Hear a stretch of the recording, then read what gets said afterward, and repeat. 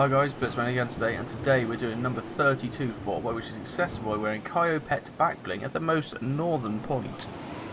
So the most northern point is this one here, when you land. Make your way across. And make sure you're wearing the Kyo backbling, which is this little pet. And it will be just here for you. That was easy enough you guys, and I'll see you in the next one.